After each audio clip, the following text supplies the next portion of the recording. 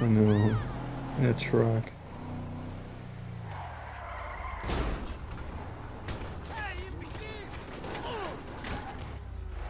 Run him over while driving in.